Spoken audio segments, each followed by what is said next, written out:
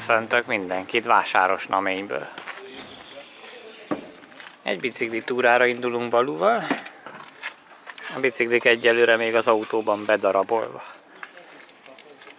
Na, a biciklit felmálháztam. Láthatjátok azért van cuccom. Egyébként Balunak is, még ő picit pakol.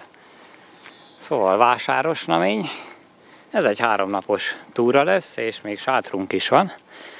Tehát sátras túra, és hát vadkempinget tervezünk.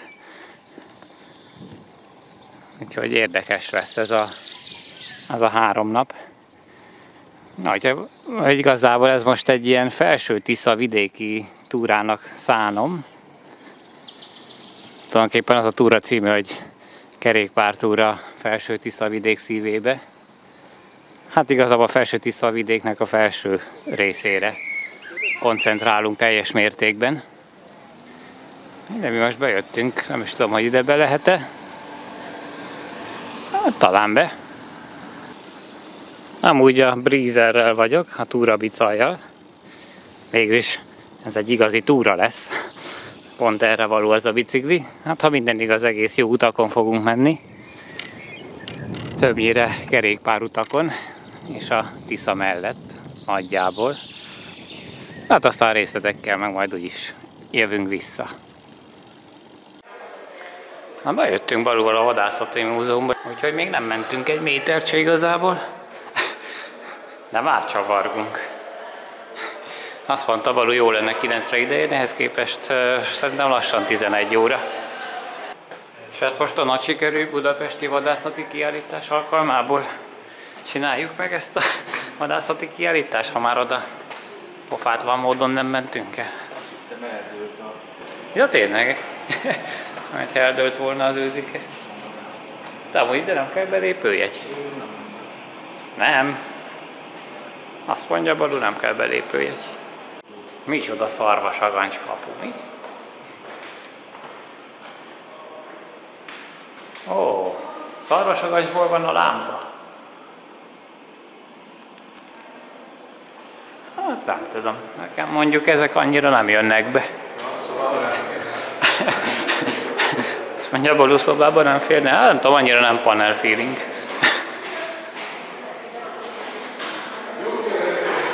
Lehet, hogy valakinek tetszik, szerintem inkább gusztustalan. Fél évig növeszti a szarvas, fél évig van a fején, és februárban általában a február végén az állat levető fejéről, bizonyos mikroorganizmusok a csonttövet szépen elkezdik levont, és leesik. Fél év alatt, amikor ez a csont szerkezet felnő a fejére, ez egy vékony bőréteg van, és rengeteg ásványanyagra, rengeteg ásványi sóra van szükség az állatnak. Ezért, ha bármilyen genetikai probléma van az állattal, bármilyen betegség, rendellenesség van, az egyből az aggancsát fog jutni. Összezárjuk így a tenyerünket, az 99%-ban azért fedi egymást. Ha bármiféle probléma, genetikai problémák van, az ilyen testrészeinket azok egyből kifutnak. Itt felettetek ott a középső aggancs, tehát alulról, illetve felülről is a középső aggancs, az lenne tulajdonképpen egy elvárható aggancs forma a gipszarvasoktól. Most ahhoz képest, hogy ha ezeket megnézitek, azért javában mindegyik különböző, nincsenek egymással harmóniában, tehát abnormálisak ezek a trófeák.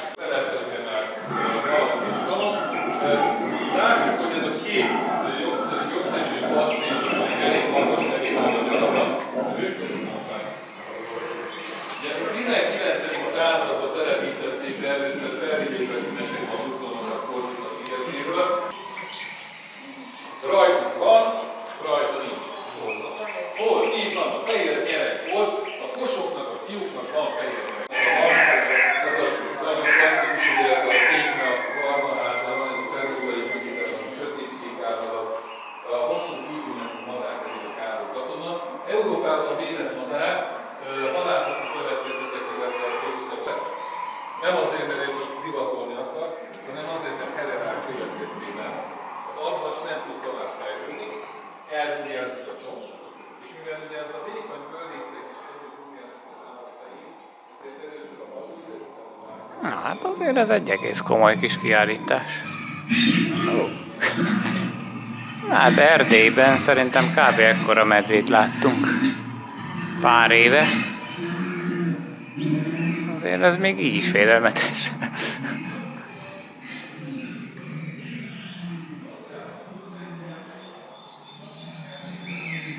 Na hát az jobb, mint gondoltam. Kicsit leszakadtam most a csoporttól.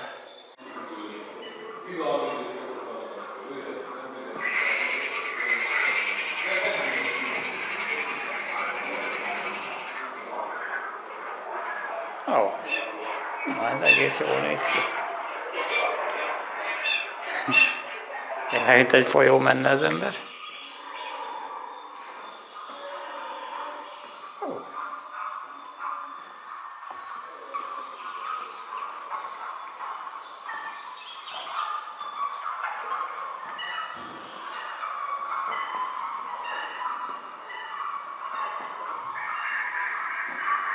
Tök jók ezek az állathangok. Szerintem ilyen mozgásérzékelős szenzorokkal kapcsolgatják őket.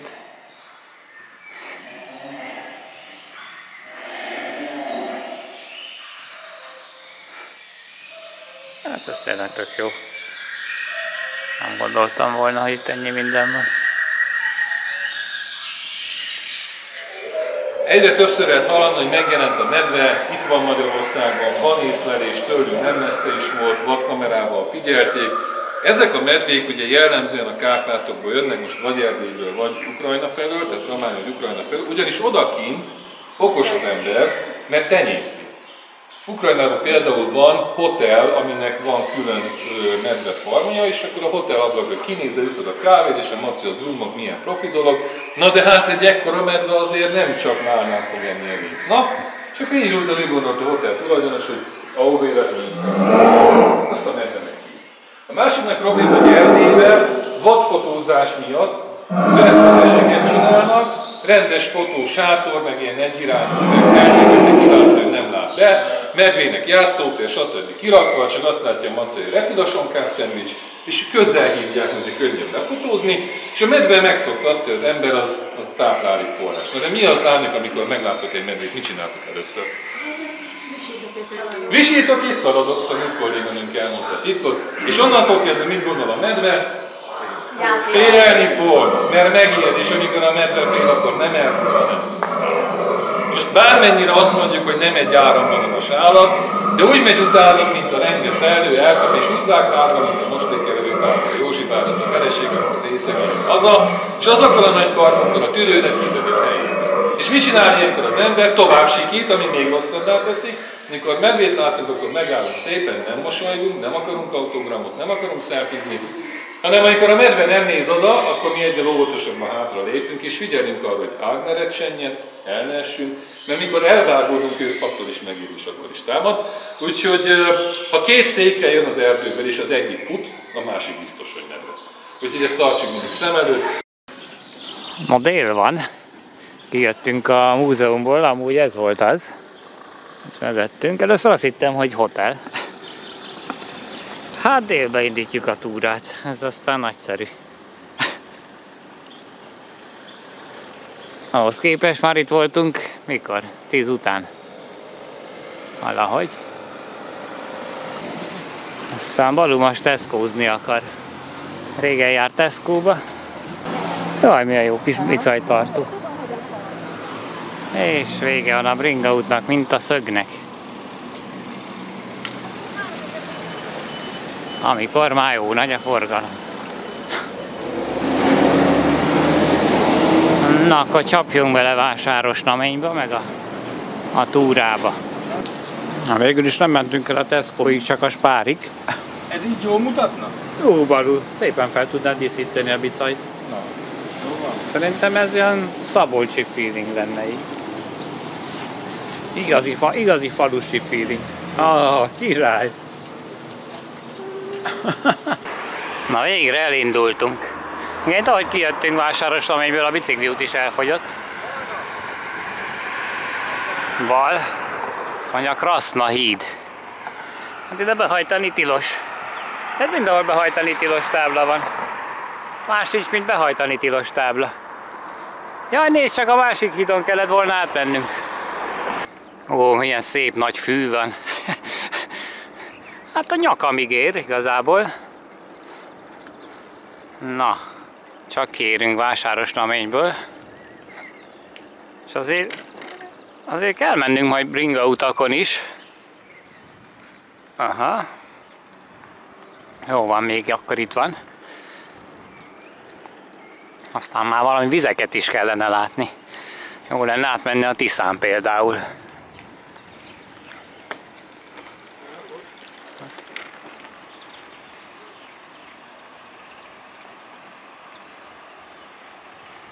Vásáros namény. Na, Iszlád vásáros namény. Hát ez a múzeum egyébként baromi jó volt. Bőven jobb, mint amire számítottam. De ott kellett hagynunk. Fickó nagyon sokat mesélt volna még. De azért oké, hogy lájtosra vettük ezt a túrát, de azért ennyire nem kéne.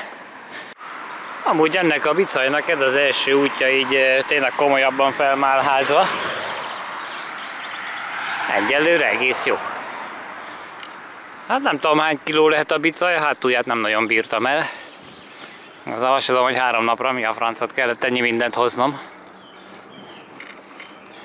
Na mindegy, ez most egy ilyen jó kis főpróbája, hogy hogy lehet egy túra bicajjal túrázni.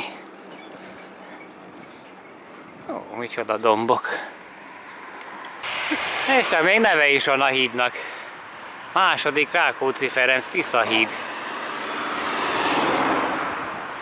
Mi a manó? Egyébként oda le is megy egy bicikliút.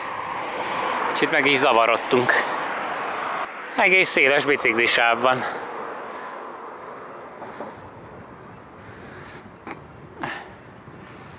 Na nézzük ezt a Tiszát.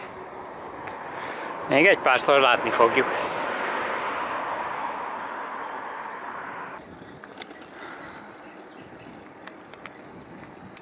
Na azt hiszem, hogy irányba álltunk a gáton.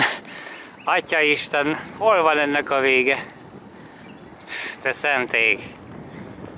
Mondjuk legalább van bicikliút, vagy legalábbis megengedik, hogy kerékpározzunk ezen az úton. Jó magas töltés van. Balú azt mondta, hogy kb. ekkora tömegre számíthatunk. Eddig senki se jött.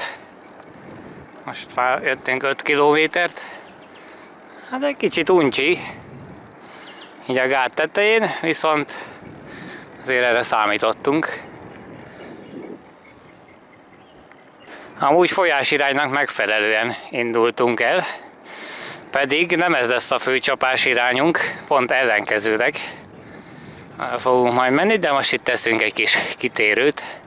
Vámos atya, meg Csaroda fele fogunk menni. Jó, nézd, az ott egész jól néz ki. Jó van, menjünk, majd lesz még ilyen. Olyan félelmetesek ezek az átkelők, mi a gödör. Nem tudtam, hogy mi van ott. Ez megmutatom Balú, hogy díszítette fel a bicaját. Na, legalább tényleg úgy nézünk kint, aki biciklitúrázik. Nem csak teker egy lazát. Attól függetlenül ez egy laza tekerés, legalábbis szándékaim szerint. Nagyjából 200 km számolt Balú. Ez teljesen az ő tervezése ez a túra. Már nagyon bevált neki ősszel ez az útvonal. Vagy nem is ez az útvonal, csak egy pár egy nagy, nagy részét bejártad, nem? Hát a 70 százaléka. 70 százalékát bejárta, azt mondja. Na nézzétek, milyen szép kék ég van. Állítólag lesz majd zivatar, de jó ég tudja. Nem tudom, mondtam, de Vámos atya meg Csaroda fele vettük az irányt. Majd még lesz egy kitérünk a Büdivárhoz. De most engem az foglalkoztat, hogy ez itt mi. Már itt bal oldalon az a nagy épület. Ó, ez a 32-es bicikliút. Még száma is van. Vízik járművei. Á, valami árvízvédelmi épület lehet ez. Mert itt egész komoly fejlesztések voltak árvízvédelemmel kapcsolatban. Hogy azért itt vannak vizek, már árvizek.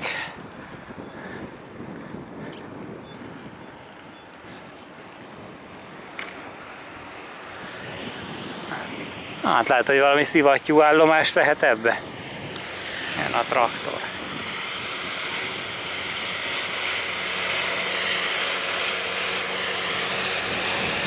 Na, ezt le tudja kaszálni ezt a meredek partot is.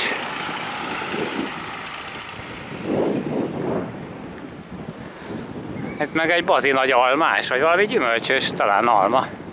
Mondjuk Szabolcs az almájáról híres. Ó, a gólya.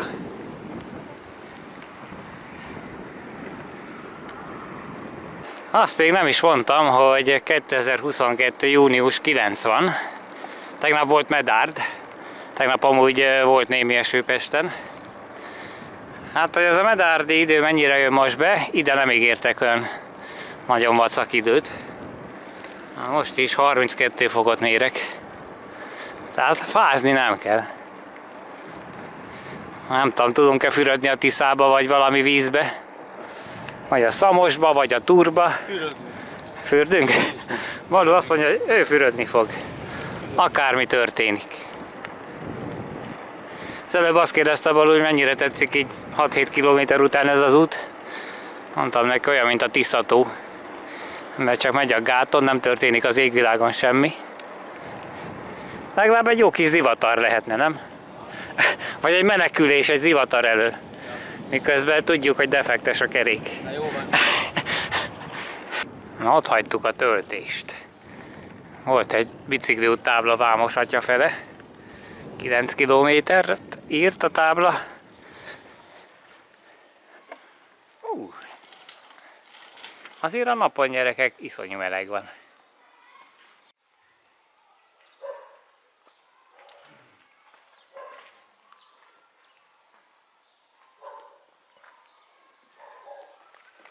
Az érdekes, hogy tettek ide egy ilyen sátorponyvát.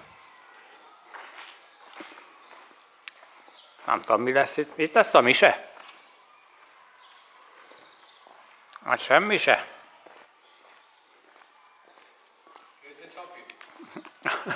Sport szerethez meg. Való be vagyunk zárva. Egyikünk be van zárva. Vajon ki lehet? Vajon ki lehet bezárva? Na, végre közúton is elérünk egy falut. Vámos atya, majd eddig csak bicikliúton mentünk szinte. Na mi ez? Valami Árpádkori templom. Amúgy Vámos atyán vagyunk. Egész jól néz ki. Egész Árpádkori hangulatú, mindjárt nézzük a táblát. Gondoltam, akkor már körbe megyek. Ó, az igen. Na, hát itt meg kell állni. Való már nyitja is az ajtót. Igen. Köszönj. Na ide nézzetek, micsoda templom van itt. Vámos atyán. Ma ilyen mi felénk nincs. Márhogy Vas megyébe.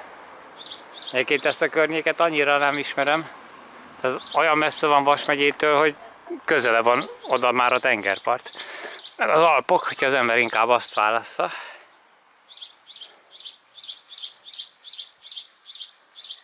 Na hát, jó fel vagyunk pakolva azért. Hát ez jól néz ki. Megnézem, hogy be lehet oda menni. Hát ez itt zárva volt. A kőtemplom. Érdekes, a kőtemplom mellett egy fatemplom. Vagy a fatemplom mellett egy kőtemplom. Melyik lehetett előbb? Hét pecsétes plakattal van lezárva.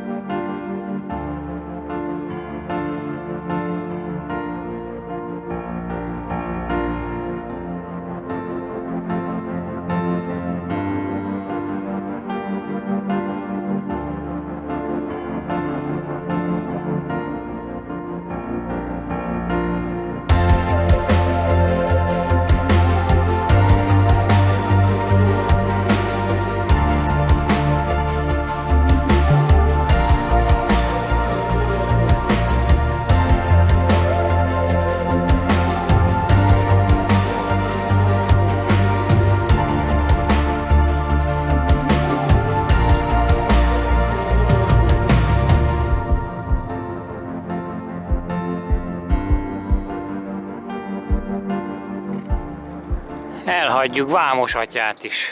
Olyan hosszú egyenesek vannak itt, olyan kilátástalan az egész, nem? Ó, oh, na nézd csak! Nézd már oda! Már hogy mit nézünk? Büdi várom.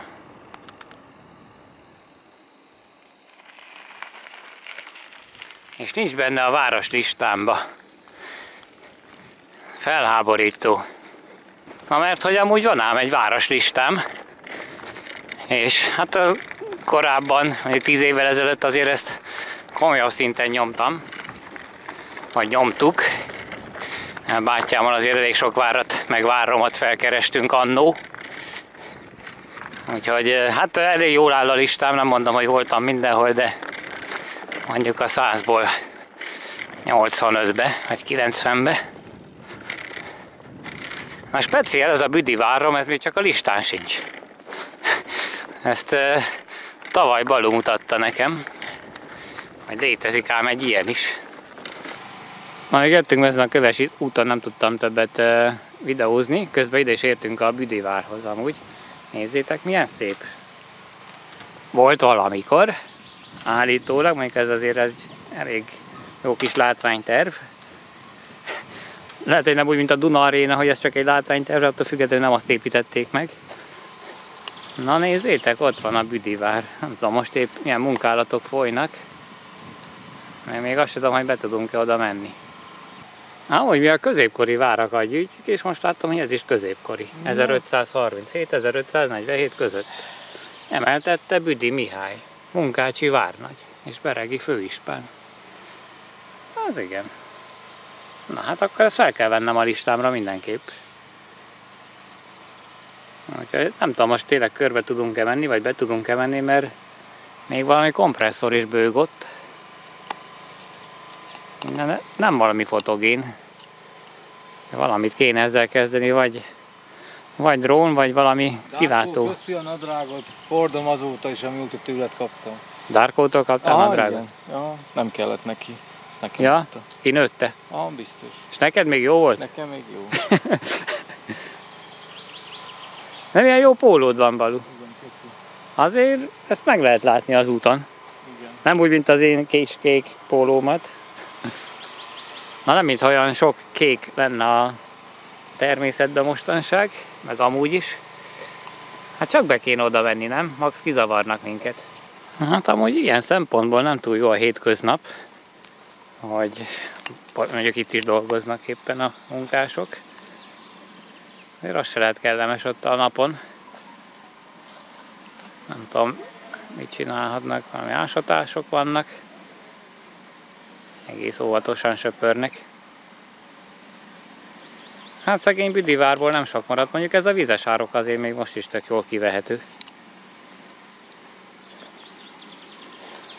Kár, hogy ez így lerombolódott. Azért ezt így megnézném itt élő vízes árokkal. Hogy néz neki ha most is. Az lehet, hogy nem is Büdivár, hanem Budivár. Na jó, zárva van? Azt mondja való, nincs zárva, csak büdi van. Na most meg elment a nap, nem látszik olyan jól itt a fák között. Egyébként, ha most valaki azt gondolja, hogy ilyen kis piszlicsári romért miért teszünk kitérőt, hoppá, és az a gödör basszus. Észné kell lenni. Szóval ilyen piszlicsári romért miért teszünk kitérőt? Hát bátyámmal van egy külön kategóriánk ezekre a rékavár típusú várakra, nem tudom kinek van meg a mecsekben rékavár mecseknádasd mellett. Na hát aki azt ismeri, akkor azt tudja, hogy miről beszélek. Tehát ahol semmi nincs, ami olyan szinten földig van rombolva, hogy minden eltűnt. Lehet, hogy még a vizes árok is. Na ez ahhoz képest például palota. A Balú igazi túravezető elmagyarázta nekem, hogy ez itt a régi budi, az Büdi. meg ott a büdi, az meg az új budi. Büdi. Büdi. És hova viszed a fát? Estére. Estére. Piknikezni fogunk. Azt mondja, piknik lesz. Ó, itt, itt is micsoda gödrök vannak ám. Nincs meg a kilátó. Hol? Hát azt mondom, hogy nincs meg. Pedig én a kilátóból akartam erről felvételeket csinálni. Kérdeztem Balutól, hogy nem -e szeretne most oda bemenni, azt mondta, hogy nem. Há, nagyon ünneprontó vagy most. És azt a fát azért felgumipókozod a csomagtartóra, nyugtass meg. Nyásot keresek. Ja, még nyásnak valót keres. Ú, tényleg, az mondjuk jó ötlet. Mert hogy azt tervezzük, hogy majd este lesz valami tábortűz. Viszont ha nem haragszanak a régész bácsik, lehet, hogy benézek ide. Ekkor is nem ezért szerettük át a fél országot, hogy én ezt távolról nézegessem. Ó, itt betonozás is megy. Pedig azt találgattuk Balúval, hogy építés van, vagy bontás. Mert ha megy a betonkeverő, akkor építés. Ó, meg téglákat is hoztak. Ó, hát ez ki lesz csinosítva rendesen. Azt gyanítom. Szerintem ilyen térkő lehet abba inkább. Jó. Balú már kint van a vízből. És jövök a vizes árokba, hát azért ezzel is dolgozhattak ám. Markoló híján. Mire a vizes árkot kiásták. De honnan hordták ezt a rengeteg követ? Jós András Múzeum. Azt nézzem. Visszatérni érdemes. Ja, visszatérni érdemes. Ja, való azért mondja visszatérni érdemes, mert hogy ő már járt itt ősszel. És ő beszélt rá, hogy csináljuk meg ezt a túrát. Sőt, képzeld el, Balu, Na, hogy azt hiszem, hogy pont ezer évvel ezelőtt találtam ki, hogy ide egyszer el kéne jönni. Talán most van az évfordulója is. ezer év. Az igen. Kevés volt a súly, mi? Mindig megemelkedett a hátulja.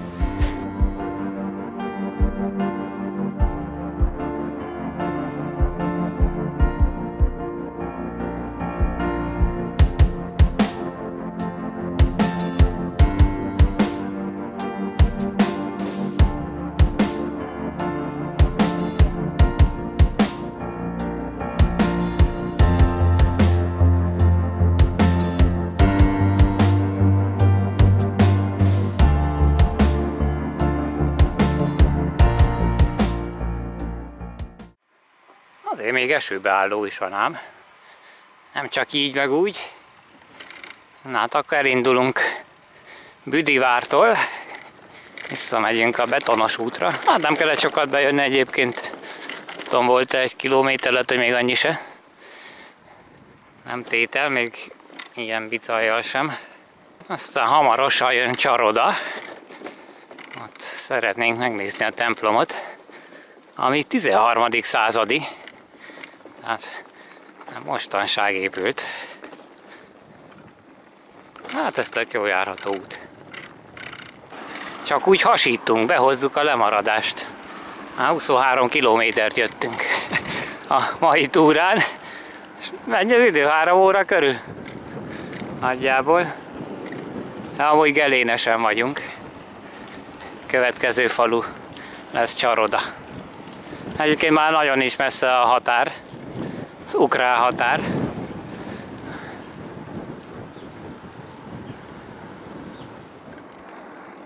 Csaroda. Egyébként az út az tök jó, minőségi volt, árnyékba jöttünk. Nagyon jó volt ez így most. Mert baromi meleg van tényleg, 30 fok fölött mérem még mindig, még árnyékba is. Ó, micsoda üzem van itt. Egy ban. Ah, ez igen, azt mondta Badó, hogy itt menjünk föl. Hát ott a bicikliút. Azért ki is tábláz, táblázhatták volna mondjuk. Mert hogy semmi nincs. Sőt, ha a faluból azt a 150 métert még hozzá is csapják, majd annyit építettek volna, akkor össze is ért volna a kettő. Tehát ilyen itt nincs, ez a vadkelet. Itt meg tökéletes kerékpárút. Már lehet, hogy nem kerékpárút, hanem inkább a vízműnek az útja. Csak kerékpározást is megengednek. Ez, aki várta a csarodai templomot, az most egy kicsit várjon. Mert először azt mondta hogy jöjjünk el Tákosra. Aztán majd visszafele, mert ezt az utat visszafele is megcsináljuk. Majd akkor menjünk be a csarodaihoz. Ám legyen. Azért Balú ez a hagyma, meg a fák. Vacsorára. A vacsora? A vacsora. Első a vacsora. Miért nem az az utolsó? Ma a gyalvás előtt. Kaszálod a füvet? Uh.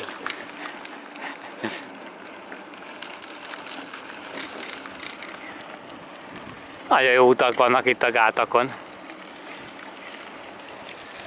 Ez az igazi bringás feeling. Na, újabb bicikli utálágazás. Tákos, 700 méter. Na, akkor kanyarodjunk le. Balú már úgy láttam, hogy bevágott a gáton. Nem akart ekkorát kerülni. Na fel is tűnt az utca végében a templom. Talán még kocsma is van itt. Ó, hát ez szép.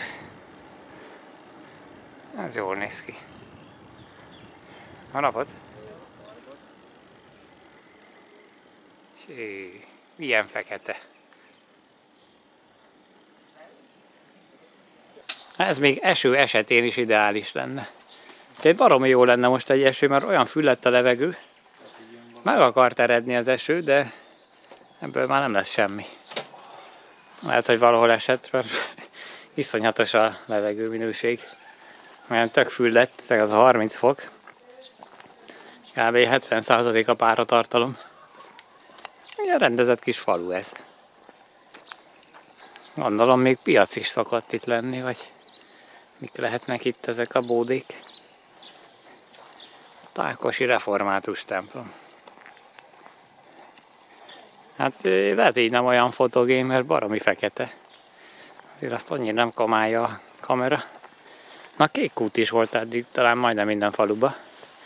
Szerintem ebben van víz. Hú, hát ezt, ezt ki lehet fordítani nyakig.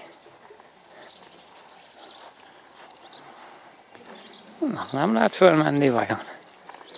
Vagy legalább bemenni?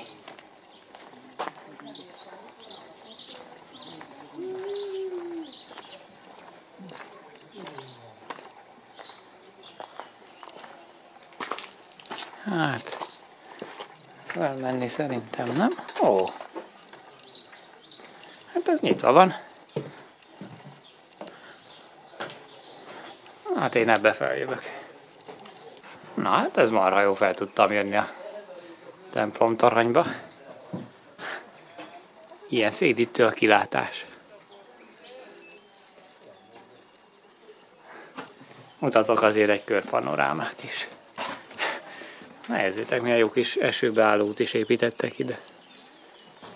Ma mondjuk itt se, hiszem, hogy nagyon megáznánk. Főleg, hogy még eső se lesz. Ilyen takaros kis falu. Tájház. Tájház minden nap látogatható. 9-től 6-ig. Akkor látogassuk meg.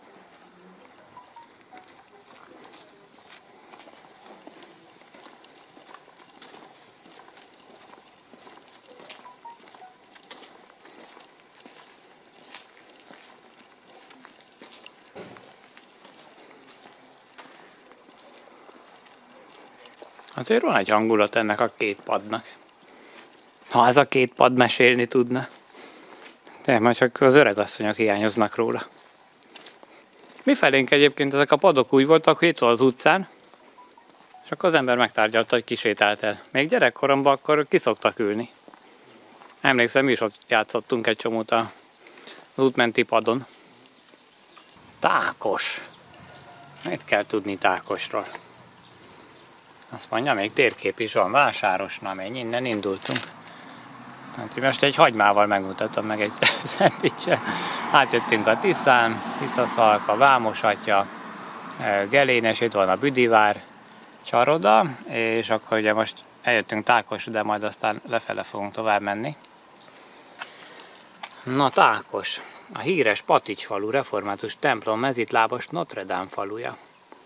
Beregi keresztemes hazája. Na, Frankó. Egyébként a, a belseje lenne ám érdekes ennek a templomnak.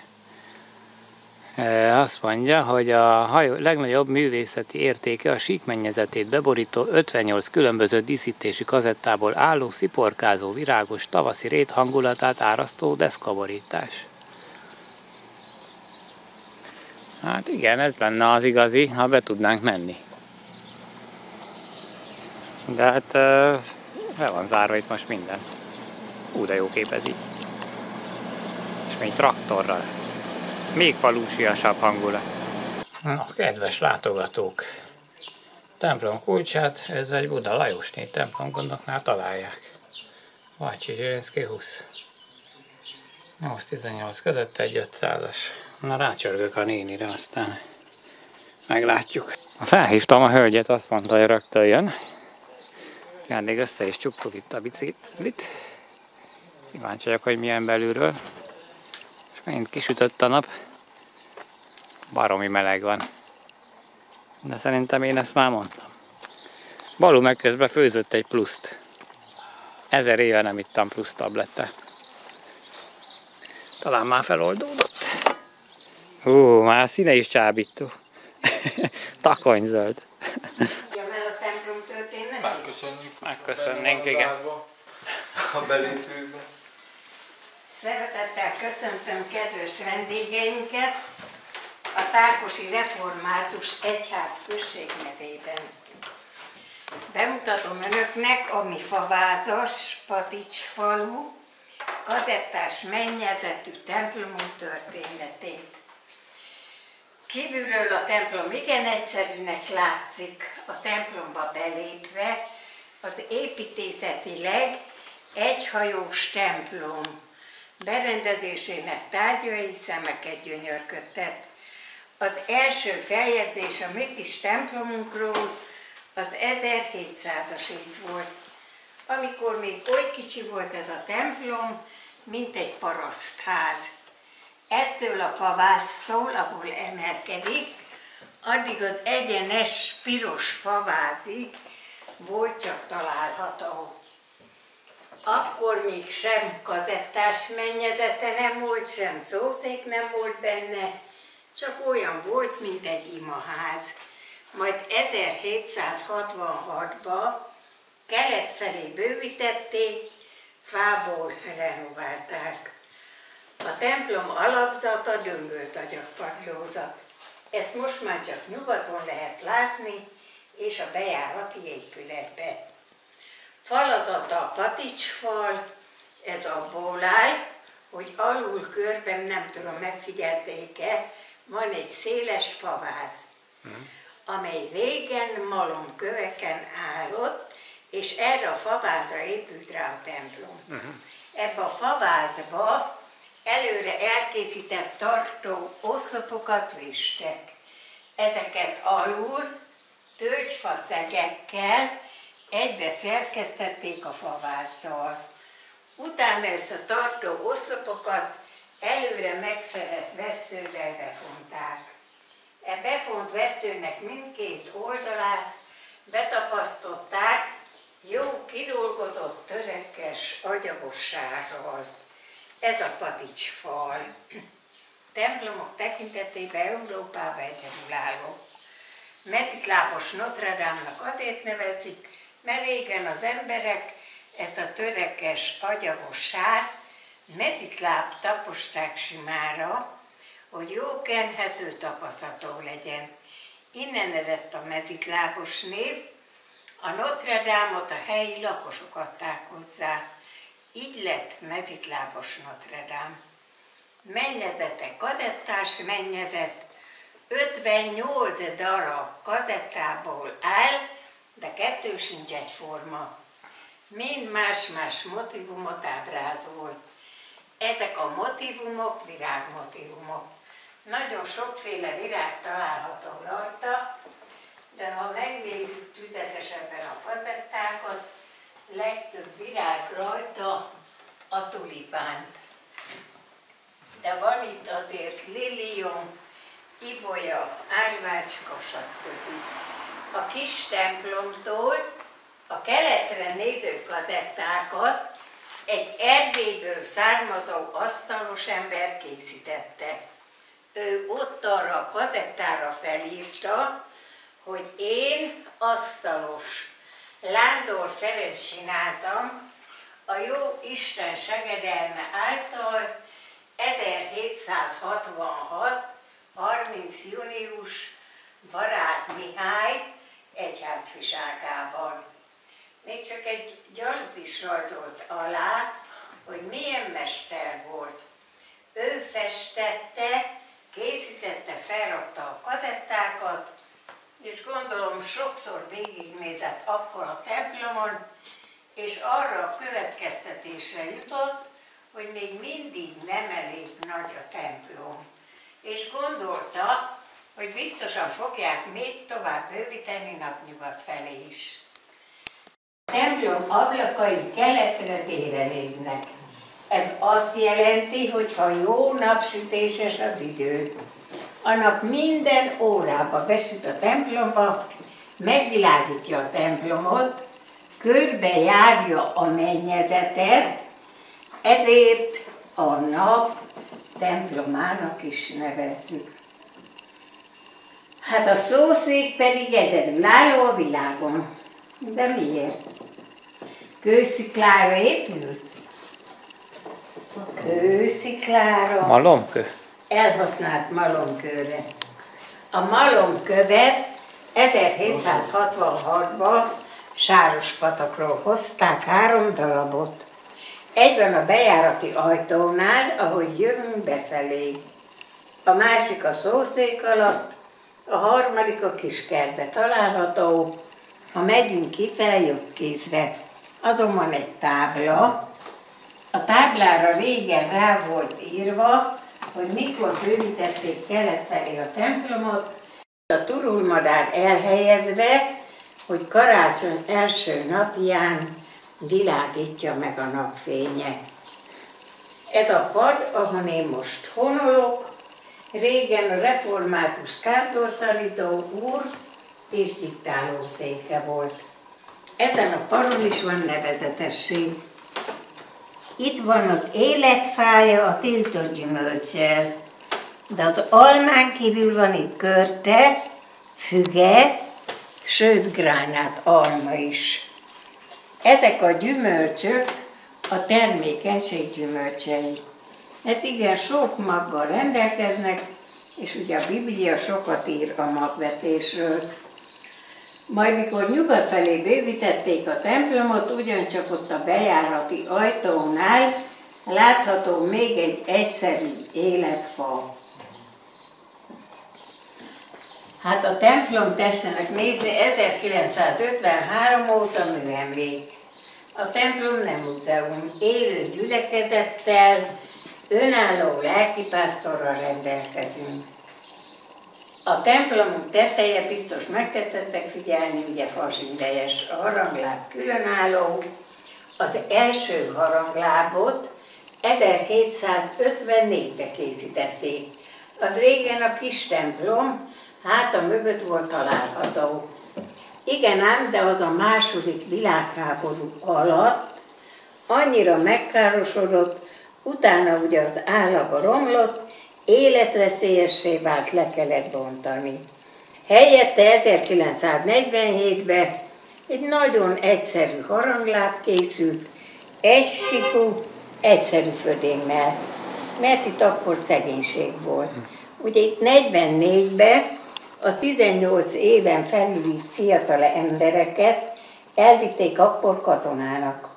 60 éves korig Málenki robotra vitték innen el az embereket, mert akkor a bíró kidoboltatta, szegény édesapám is köztük volt, hogy elment, hogy aki nem megy el három napi élelemmel Málenki robotra, késztsák a családját és mindenki ettől félt, és minden ember elment Ákosról.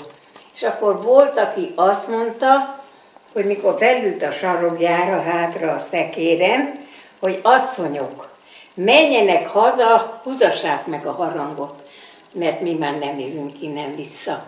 És vagy öt ember jött vissza, vagy négy-öt év múlva, mert nagyon sokan szolván meghaltak, hassifuszba, meg ugye a hidegben megfáztak, mert édesanyám vitt nekiek enni, és egy ilyen juhodályba voltak elszállásolva, nem volt ott semmi, ilyen szurózsóta volt körülvéve, édesanyám is szívbetegséget kapott ott, mert nem engedték közel egymáshoz, ugye a férjéhez, és szegény édesapám egy kis kődarabon tett rá, rákötött egy kis cédulát, azt édesanyámnak kidobta.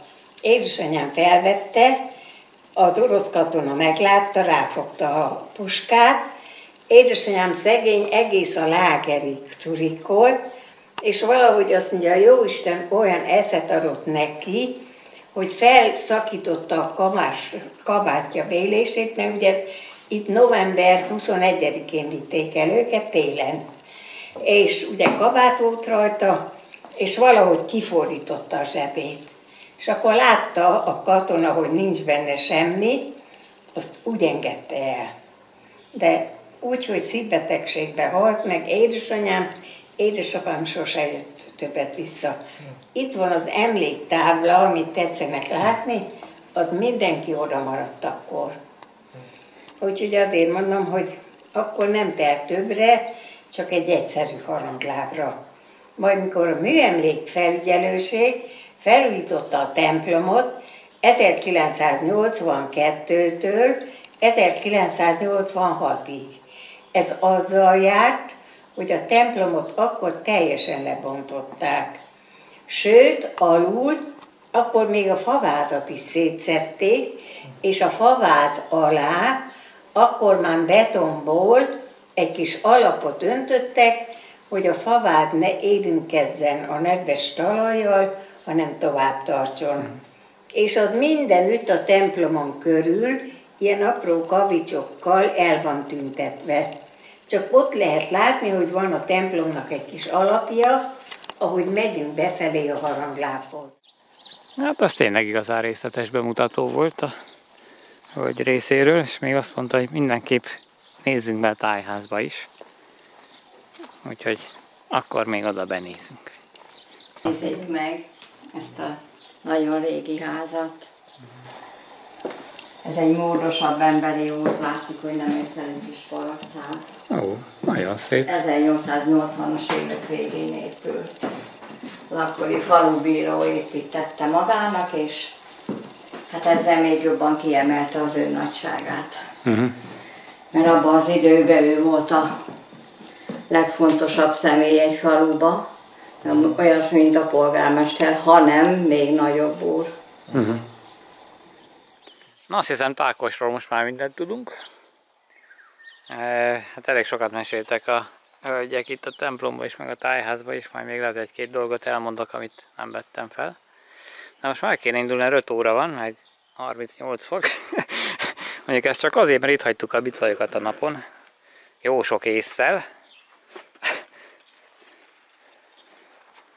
Úgyhogy eh, és visszamegyünk Csarodára, aztán még ott megnézzük a templomot, de szerintem most már csak kívülről. 5 órakor 30 kilométernél tartani. Ez egy tök jó bicikli túra. A másik irányban mondjuk szebb lett volna a falukép. Mondták a jegyek, hogy azért 2001-ben komoly árvíz volt itt. Átszakadt a gát, és akkor elöntötte, hát nem csak ezt az egy falut, hanem nagyon sok falut. Iszonyatosan nagy árvíz volt akkor. És azt mondta a templomban is, hogy ott 35 centis víz állt. És száz házat le kellett bontani és újraépíteni. És hát nem sok ház maradt meg, mert talán, nem tudom, mit mondod, 120 ház van a faluba? Hát pár ház úszta meg mindössze. A templomot is tulajdonképpen újjáépítették. Meg még a tájházat is.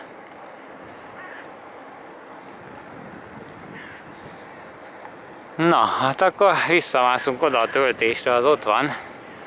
Csak itt most nincs út. Majd visszamegyünk, amerre jöttünk. Jól föltámadt a szél. Egész hűvöset hoz. Hát előttünk mondjuk be van borulva tisztességesen. Nem tudom, hogy lesz ebből bármi. Nem onnan fúj a szél. Ahonnan fújott, teljesen kék. Na mindegy. Megyünk csarodára. Egy kis esőtől azért nem fogunk betolni. Na, még a marhák is ide jöttek. Most nem magunkra célzok, hanem itt ezekre. Hát, hogy még szürkék is.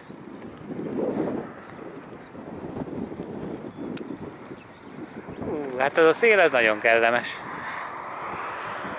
Kicsit így kisöp, kisöpörte ezt a pangó álló párás levegőt. Hát jön Balu kapitány is. Ú, mennyi tehén. Micsoda vízi hangulat. Itt vagyunk már Csaroda előtt. Tök jó kis holtág.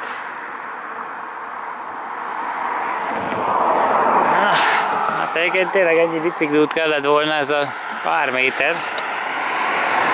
Csak nem kellett volna rájönni a 41-esre. Tényleg 150 méter, ha lehet. Na nézzük még ezt a templomot. Nagyon sok gólya van. Azt hittem csak egy templomban, még ez csak egy harangláb igazából. Olyan tök jó kis hangulatos helyek vannak itt is. De az igazi templom, amiért jövünk, a 13. századi az ez kell, hogy legyen, én azt gondolom. Aha. Ó. Ez egész jól néz ki. Akár csak a többi. Ott. Na, csarodai műemlék templom.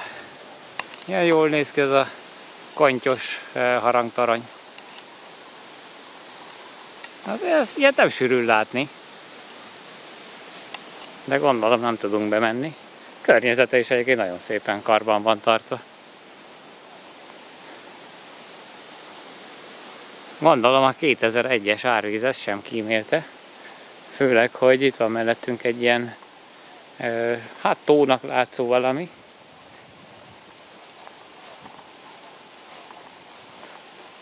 Ó, oh, nem csak tónak látszó, hanem az is. Pont mondtam is Baludnak, milyen jó sátorozó hely lenne ez itt. Ah, igen, van is azért itt szintkülönbség. Meg ott víz. Aha. Na hát ez itt egy jó kis kiránduló helynek tűnik. Aha, itt a tó. Hát igen, azért nem mondom, hogy olyan nagyon magason van a templom. Hát ez biztos, hogy jelentette a víz. Kár, hogy nincsenek így felfestve a vízszintek. Na, erre fölállok, aztán innen többet látok. Hoppá. Hát olyan sokkal többet, nem? Egy kis víztükör azért van. Nagyon szép állapotban van a templom. Tényleg a, park is körülötte e, nagyon szép, gondozott. Gyanítom, hogy, hogy itt is kellett e, némi felújítás, vagy újjáépítés a 2001-es árvíz után. Eladó. Hát igen, azért nincsenek rossz állapotban még ezek a régi házak se. Azt mondta a hölgy is az előző faluban, hogy nincs üresen álló ház. Pár héten belül eladták, vagy el tudják adni a, a házakat, mert hogy fel lett újítva az összes, és jó állapotban vannak. Úgyhogy elviszik. Csak az új beköltözők már nem templomba járók. Ez volt a néni nagy szívfájdalma. Na azt ez nem csak csarodán meg tákoson van így, hanem szerintem ez egész országban, de lehet, hogy még egész Európában is. Na elindulunk Csarodáról is. Ó, Balú, hát még csak 5 óra 20, aztán már 36 kilométernél tartunk. Nem megy ez, mint a golyó. Na gyerekek, így kell biciklitúrázni. 5 óra 20-kor 36 kilométernél a síkságon. De nem is jártunk még a hegyen. Nem viccelek ám, tényleg van itt hegy. A Tarpai Szőlőhegy. Oh, hú, mekkora bogár volt. A kutya, ha kijössz elém, kaverlek. Figyelj, hogy hagyjon a lábamra. De ha kijön elém és átmegyek rajta egy kézzel és elesek miatt, akkor nyakon verem. Ó, oh, jó néz ki a székely vendégház. Nagyjából még keveset mentünk, ezért egy kicsit teszünk a kilométerekhez. Ú, mennyi megy. Hát figyelj, mi biztos, hogy el akarunk menni. Azt hittem jobb. Na, nem olyan rossz ez, mint ahogy kinéz. Nem mondom, jobban kitaposott útra számítottam. Adott már ott az aszfalt. Egy pillanat és elérjük. Hát itt se volt mostanában sok eső. Ahhoz képest, hogy a Nyugat-Dunántúlon árvíz van. Itt meg akkor a repedések a földön, hogy majdnem belefér a kerekem. Na, visszajöttünk a Bringa útra. Majdnem Bringa út. Kivéve kerékpárosok. Ó, azért borul, nem? Már nekem ez inkább úgy tűnik, hogy a Kárpátok vonzza be a felhőket. Itt meg szétfújja a szél, mert meg ahonnan fúj a szél, ott egész kék.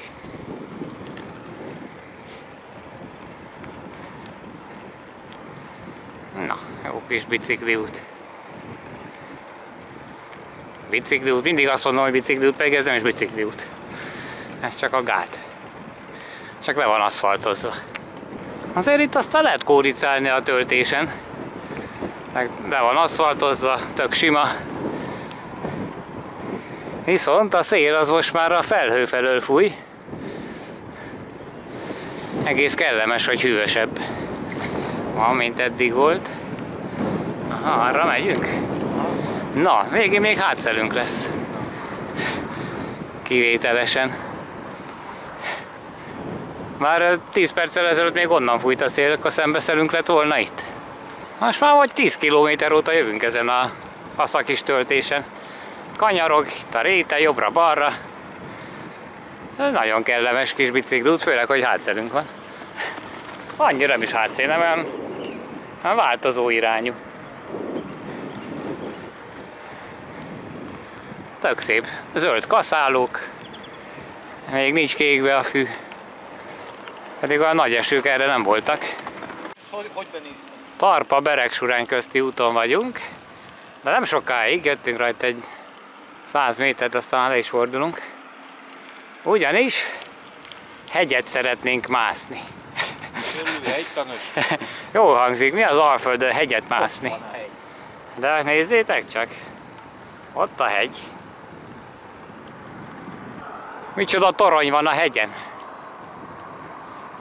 Lehetne akár kilátótorony is, mi? a Tarpai hegy. Egyébként vagy 50 méter szint lesz. Csak úgy mondom. 50 méter meg azért már nem szarral gurigázás, mi? Főleg a Sveti Jure után, meg a... ja, meg a Montenegrói kiruccanás után Balunak. Tegnap előtt még más vidékeken járt. Más helyeken edződött. A Tarpai hegy lábánál vagyunk. És a piros jelzésen felmegyünk a hegyre. Egyébként ez, ha jól tudom, vulkanikus hegy. Egy kicsit ilyen köves lesz, gondolom én. Mert nem aszfaltos. De egyelőre teljesen jó. Hát nem szégyelled magad? Ú, egyébként én se. Fincsi cseresznye. Olyan van otthon nekünk is. Nem mondom, hogy tökéletes, de igazából nem rossz. Pont jól jött egy kis egymászás előtt. Micsoda porták, micsoda cseresznyefák. Körül van bírni, nagy körül is. Na, ősszel is lehet jönni, mert szőlő is van. Én voltam be. Ja, te voltál ősszel. Nem loptál szőlőt? Ja, akkor meg már leszüreteltek addigra. Természetesen. Ezen is van. Még nincs beírva rendesen. Mire nem jó a kitámasztó? Ilyenkor milyen jól jön? Gyerekek ezt a cseresznyét. Mindig azt szoktam mondani, hogy bárminek ellen tudok állni, csak a kísértésnek nem. Hát ez, ez igen. Hm, ez finomabb, mint a másik. Piros háromszögre tértünk rá, el is kezdett emelkedni. Ú, oda néz, micsoda emelkedő. Aha, micsoda cseresznyefa. Őszintén szólva még tele van a zsebem. Már hát ugye magyarok vagyunk. Hova szedjünk, ha nem a zsebünkbe? Azt idézőkor régen Janival elmentünk bicajozni, főleg Döröskére, és ott is ilyen szőlőhegyek vannak, meg hát gyümölcsösök. Úgyhogy mindig az aktuális évszaknak megfelelő gyümölcsöst nézsmáltuk. Mondjuk, ami itt két gyerek megeszik, nem hiszem, hogy nagyon hiányzott ott bárkinek. Na, már mindjárt kezdek lihegni is. Itt bevá. A pirosan szőlőhegy fele. Oda néz a porta. Még láncos kutyák is vannak itt. Egy gyors mintavételes ellenőrzés. Ez mintha nagyobb szemű lenne, nem? Akár még van egy pár. Na, hát egész följöttünk. Úgy lekötött a cseresznyézés, hogy észre se vettem. Amúgy nem vészes az emelkedés. Nézzétek, ezen a fán szinte fekete cseresznyék vannak. Először nem is gondoltam, hogy van rajta. De van, tök feketék. Ez aztán jó édes. Hogy is nem tudom, kicsit más az íze, mint a másiknak. Felértünk a hegyre. Tarpa. Baromi jó. Ez tetszik. És micsoda kilátás van? Nem tudom, látszik-e? Talán látszik, igen. Az már Ukrajna területén van, ugye? Azok a nagyobb hegyek. Hát ott kell, hogy legyenek, mert Magyarországon ekkorák nincsenek itt ezen a környéken. Moik vannak itt, honfoglaláskori sírok a Tarpai Nagyhegyen. 75-ben. Pinceásás közben. Hoppá. Úgy látom, Balubicaja megadta magát. Na, nekem meg az akkumulátorom. No szóval, Tarpai Nagyhelyen pincásás közben egy honfoglaláskori több mint ezer éves sír találtak. Látok alapján előkelő nő temetkezésére bukkantak. Valószínűleg tűnt, hogy a sír nem magányos, azaz egy temetőre akadtak.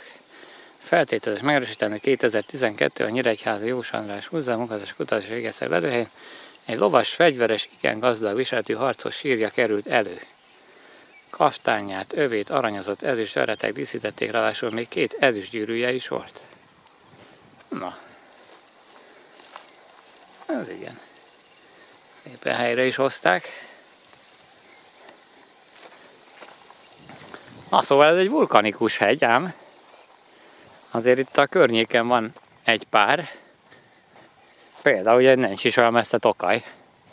Vagy messze van? Hát nem csak az anyja nagyon messze. Az mondjuk azért nagyobb. Itt meg azt hiszem, hogy bányászat folyt, igen. És hát elhordták a hegynek egy jelentős részét. Hát ez egy nagyon sághegy feeling. Ez ott van Vas megyében, Celdömök mellett, oda jártam viszonylag többet.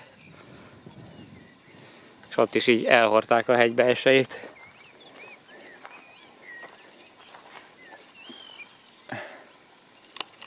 Na hát ilyen magasra feljöttünk.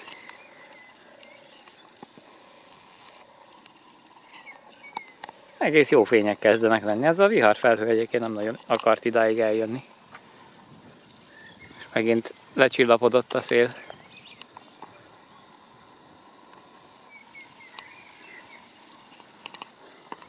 Azért nagyon halványan látszik a Kárpátok körvonala is. Kamerán biztos, hogy semmit se látni, de én szabad szemmel látom, hogy nagyon halványan. Na hát akkor ez a Tarpai hegy.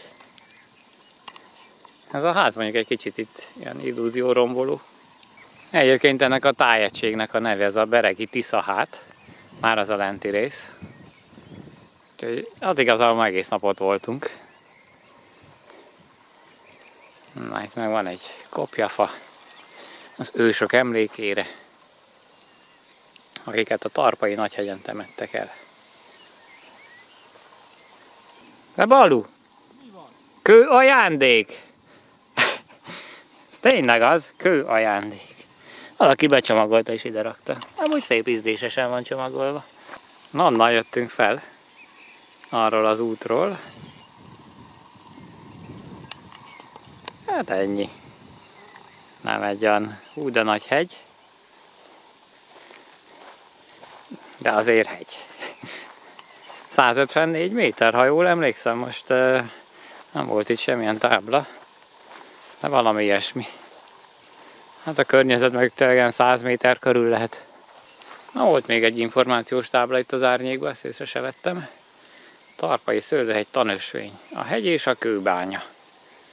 Ó, micsoda élet volt itt a bánya idején. Az igen. Na nézzük csak, Tarpai hegy kb. 60 méterre emelkedik a beregi sík fölé. Ezért talán túlzónak tűnik hegyként említeni. Na, története igazolja, jogos volt, tehát ez egy romvulkán. Uh-huh. Olyan romvulkánok, amelyek a belső kárpáti vulkáni övezet részének tekinthetők. Na, hát akkor ez egy romvulkán. A Balú azt mondja, hogy elindul cseresznyézni. Én megtaláltam a zsebembe pár szemet. Nem lehet, hogy én is pótlom a hiányzást, hiányzókat. Hát ez ötletes. Akármi is legyen ez. Nem bicikli támasztó. Lehet, hogy nem is így kell volna ide támasztanom. Aztán tudtál szere, cseresznyét szedni, Balu? Hmm, hát egy keveset. Egy keveset. Azért az ott elég jól kéznél van. Ja. Na hát legurultunk a hegyről. Már a hátunk mögött van. Annyira nem ugrik ki most így a környezetből nekem. Nem olyan látványos, abszolút. Na hát akkor ma még vannak kalandjaink, nem? Még azért mennünk kéne. 50 kilométernél járunk. Tényleg 50 kilométernél vagyunk Sányóra? Fél hét. Fél hét. Amíg előttünk az éjszaka. ja, előttünk az éjszaka. Hát itt a gáton kéne menni, nem? Egyébként a szárazmalmot keressük itt Tarpán. Csoda székelykapu. Megyei népzenei találkozó is van. Ó. Micsoda játszótér. És még második Rákóczi Ferenc művelődési ház.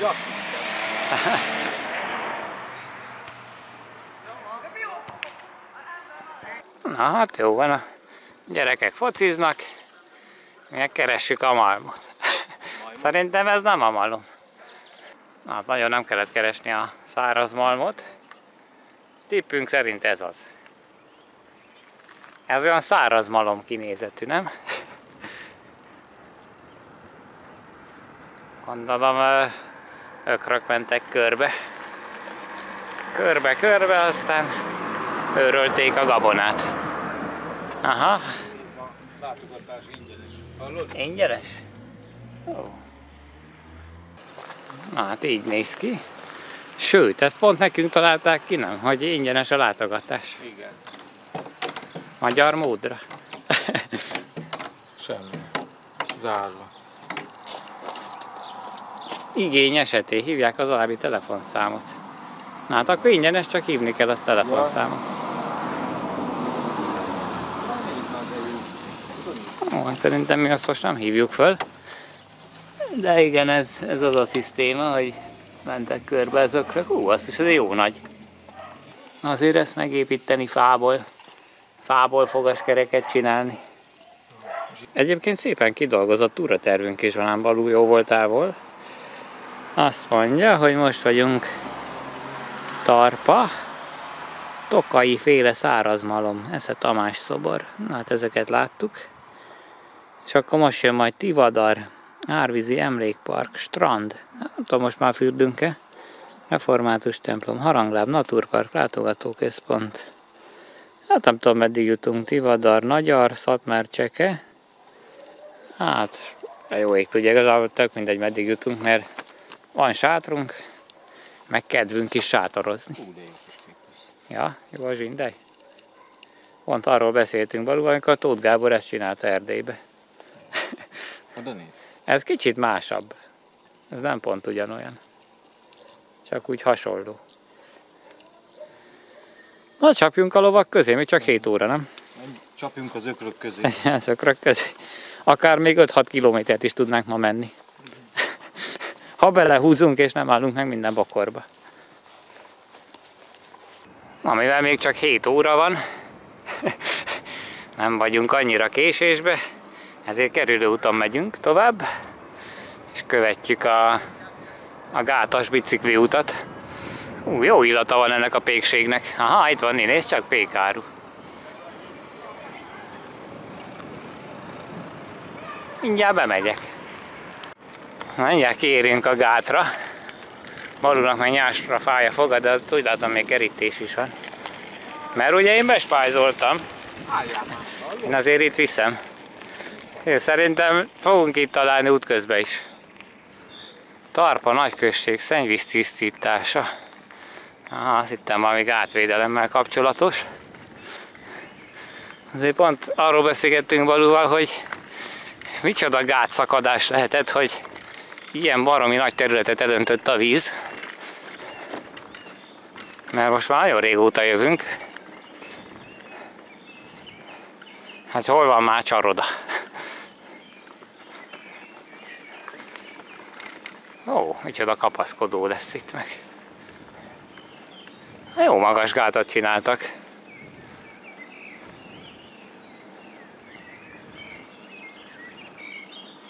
Való meg visszament nyársért a pótkocsiról akar menteni. Na, fent vagyunk a gáton, egyébként pont idáig tart az aszfalt.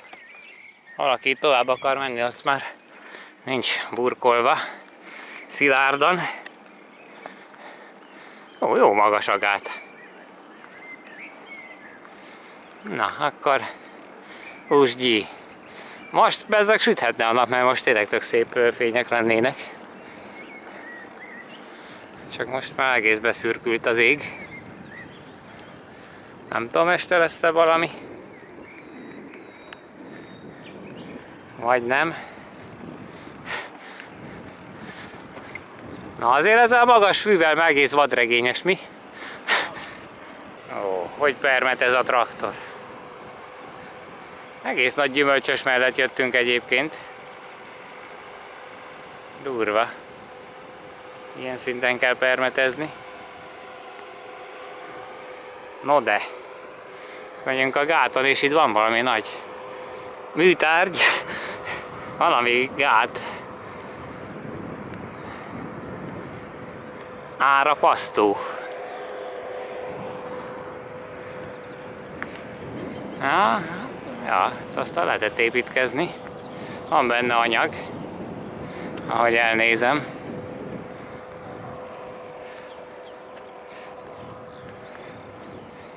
Ő egész komoly. Ennyi kis antenna van, mi? Vagy mik ezek?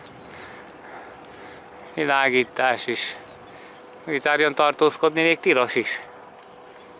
Hatos szám ártéri szegmens. Jó van. Tábla. Jó, ez jó magason vagyunk így.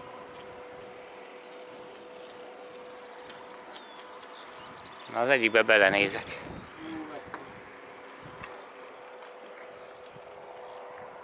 Uh. Hát ide aztán várnak vizet. Ilyen komoly építettség. Kettes számú nyílás. Egyes számú nyílás.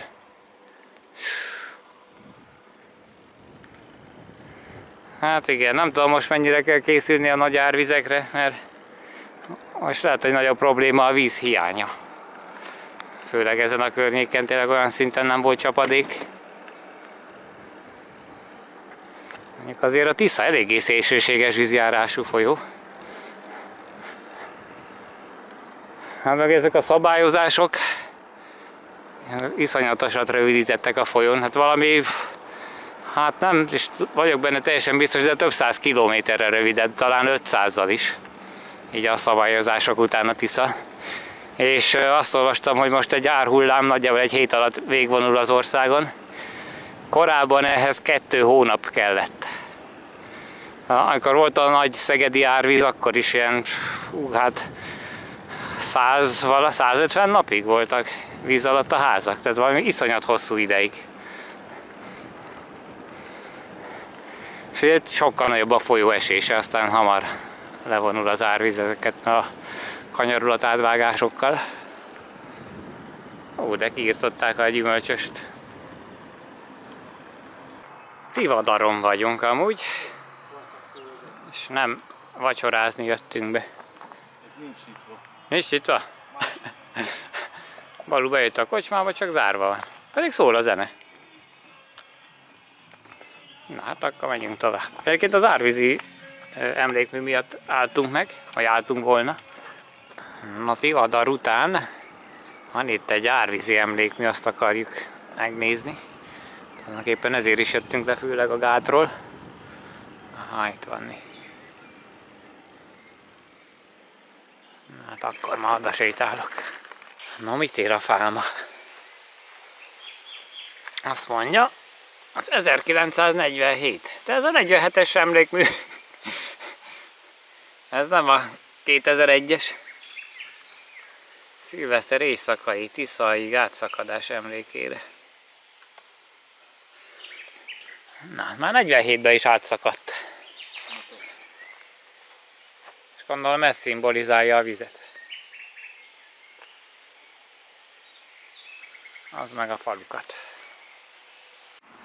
Amúgy még Tivadaron vagyunk. Oda nézzetek. Azért ez is jó. Jól néz ki.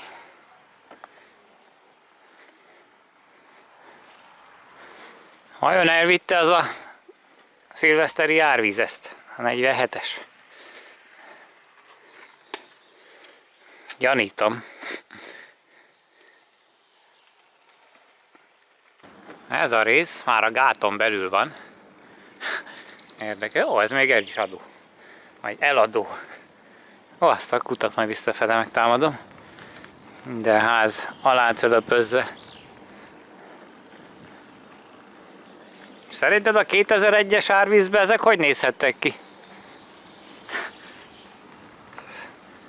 Én nem hiszem el, hogy egy ekkora emelés elég volt akkor.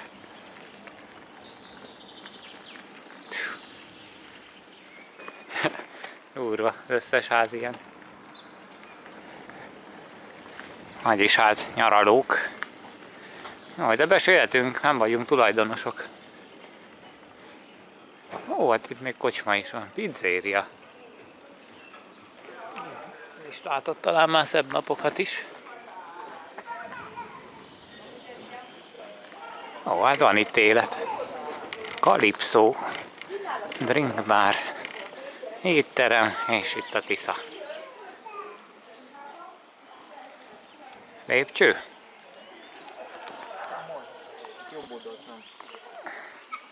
Na, lejövünk a Tisza partra. Tök jó homok van. Ez baromi jó minőségű homok. Mély víz fürödni tilos. Hát, ahhoz képest egész jó kis strandnak tűnik, nem? Az előbb azt kérdezted, hogy lesznek-e szúnyagok. Most már meg tudom mondani, igen. És milyen a víz?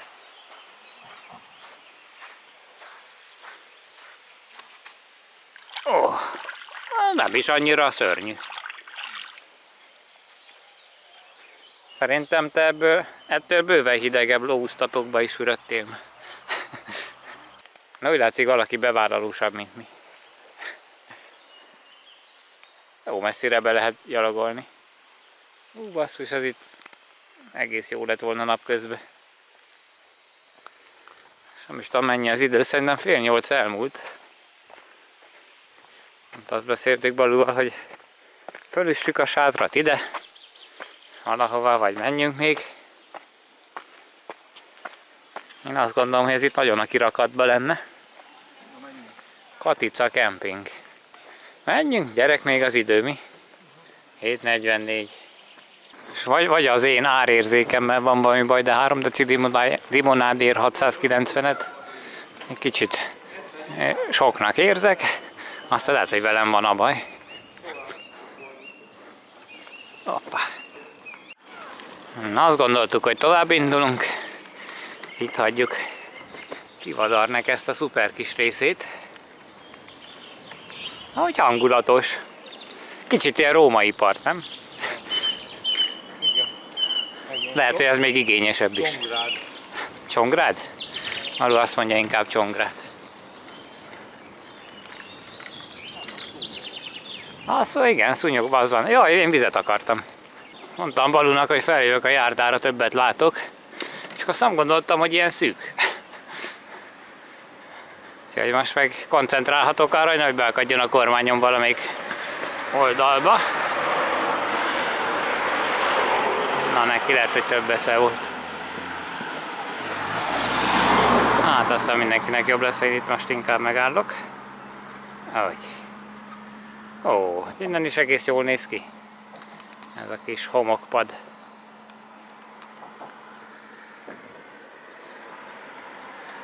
Na hát akkor átkelünk a Tiszán. Ma már másodszor. Aztán még egy kicsit megyünk. Lehet, hogy Petőfi fájáig. Majd meglátjuk, de szerintem úgyis ott alszunk. Na, jól néz ki a homokpart, homokpad.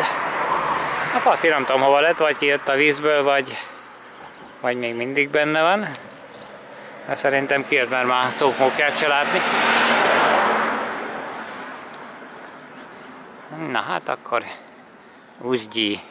Szerencsére most már sokáig fent van a nap. Mégiscsak június közepe van. Kis ar. Szóval ez itt kis ar. Ezek is izgulhatnak ám árvízkor, mondjuk azért itt elég magas a gát. Hát még pakoltak rá egy jó métert. Ez egy kilátástalanul hosszú egyenes, nem? Az itt egy déli napsütésbe befonnám a hajam, hogy nem látom a végét. Azt beszéltük Balúval, hogy milyen bicajos forgalom van. Azt olvastad valahol, hogy a helyiek azért használják? Vagy oké, bringatúrázókat nem láttunk. De helyiből már láttunk kettőt az előbb. Egész nap senkit. Igaz, nem tudjuk bizonyítani, de láttuk. Egy teremtett lelket nem láttunk egész nap a gáton lévő utakon. Ja, túl unalmas volt a gáton menni. Mondjuk továbbra is a gáton megyünk, csak már nem aszfalton. Egyébként nem olyan rossz. És mondom, hogy a hú, de jó, de teljesen használható. Bal úgy poroz. Aztán meg kéne találni a Petőfi fáját valahogyan. Valami csodával. Tehát, hogy jobbá, kis GPS-es segítséget majd igénybe kéne venni. Most olyan helyeken járunk, ahogy ilyen az út. itt egy temető, semmi közepén vagyunk amúgy. De volt egy ilyen mocsaras rész, olyan vadvízi élet volt, földön túli hangokkal. a reggeli múzeum után már csak a krokodil hiányzott. Hát nincs is ettől jobb. Fél kilenckor ilyen utakon menni. Hát egyébként benéztük a kereszteződést, aztán meg utána átterveztük, aztán még, az még talán még rosszabb lett az áttervezés. Na mindegy, kell egy túrába azért ilyen szakasz. Miféle túra, ahol az ember nem téved el úgy tisztességesen, vagy nem szív be egy, egy ilyen kis utat. Már ez igazából akkor lett volna óriási szívás, hogy itt is olyan esők vannak, mint Vas és Zala megyébe. Sőt, nem is Vas, nem is Zala, hanem Vas és Györmoson Sopron megyébe, mondjuk múlt hétvégén. De hát itt nem nagyon volt, mert olyan por van. Na, most már kiérünk valami betonos útra, itt még ház is van. Ilyen helyekről szoktak kirongyolni a kutyák. Na, alig, hogy kimondtam, hogy innen, ilyen helyekről szoktak kirongyolni a kutyák, hogy meg is jöttek. De szerencsére nem rongyoltak ki.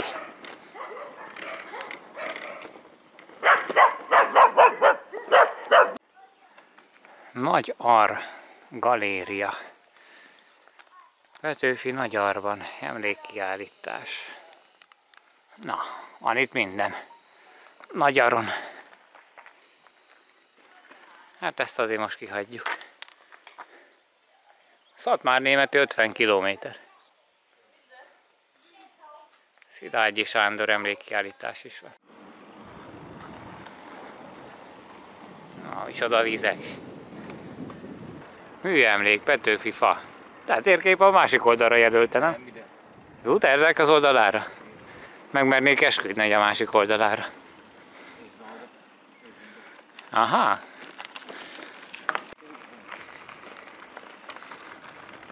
Na, micsoda kapu van itt. Petőfi. Ez minden Petőfiről szól. Ó, hát itt nagyon jó helyek vannak. Ó, Balú, ez tök jó. Na, ezt a helyet néztük ki vagyis hát Badu, ezt néztek ki sátorozásra, és úgy látom, hogy ez, ez tökéletes lesz. Itt a fa. Petőfi fája. Úgy emlékszem, hogy a Tisza című verset írta itt, a monda szerint. Nem majd körülnézünk, azt mondta Balú, az legyen az első, hogy állítsunk sátrat, mert ő sötétben nem akar. De én be sem mennék annyira. Sőt, ha hintázni akarunk, akár még hintázhatunk is. Na hát ez, ez nagyon fasz a helynek tűnik.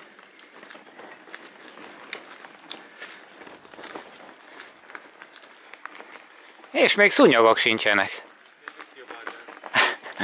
Lesznek? Na, tűzrakóhely. Tűzrakóhely és sátorhely. Elég sok dolgunk volt mostanában, például tábortüzet kellett rakni, mert most egész jó ég. Kijelölt tűzrakóhely egyébként, van pad, de azt már lehet, hogy mutattam, ott meg áll a sátor. Hát, hogy még a tűz meg is világítja, mondjuk én szabad szemmel látom. Ott meg a Petőfifa. Na, hát akkor ez itt egy egész jó kis helynek tűnik. Hát az ég basszus balul, elég rendesen. Ú, olyan meleget csináltam a tűzni, hogy leégett már az arcom. Itt már kolbászon várja a parást. Uá, bassz! Azt akartam mutatni a kolbász, amit várja a parást. Egyébként az egész tábortűznek most ad egy feelinget, hogy dörög az ég, meg még villámlik is. Úgyhogy nem tudom, hogy mennyi időnk lehet a viharig, hát egy fél óra tuti. Miért? Van az több is? Jön. Hát figyelj, hogyha dörög és villámlik, akkor jön, mert eddig nem dörgött és nem villámnak. De egész jól néz ki most már. Kezd parázs lenni. Már nem világítja be az egész Petőfifát. uh, hát jó, jó sötét lett. Meg kell hagyni. Ja, hideg a sarad, kicsit meg kell melegíteni.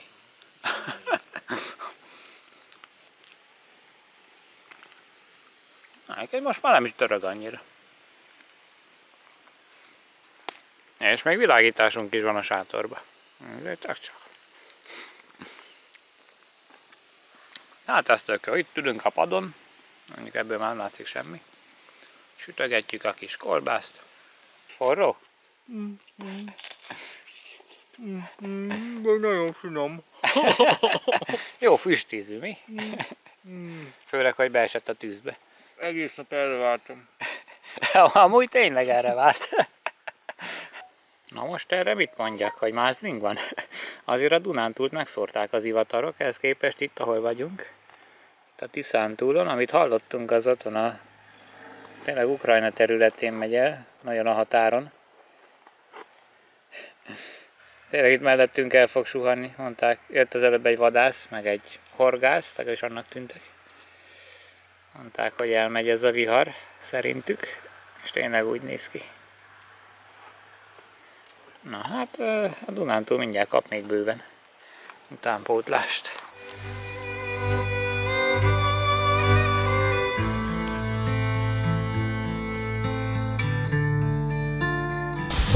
Hú, gyerekek, ezt nézzétek! Itt állok, mint egy hülye fasz! Így ömlik az eső. Ez nekem aztán hulla mindegy most már. Hajam mondjuk tudom víz lesz, azt a keservi. Úgy sem érem keresztül a hazámat, úgy sem érem keresztül a világot, elengedem most már, nem őrzöm a lángot,